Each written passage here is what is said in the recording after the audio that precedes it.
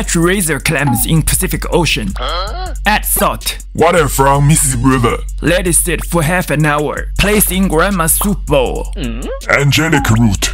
Ginger, goji berry, Chinese liquor. Oh no. salt. Cover lid. Steam for 15 minutes. Sprinkle chopped green onion. Dish up. Done and dusted. Out of this world.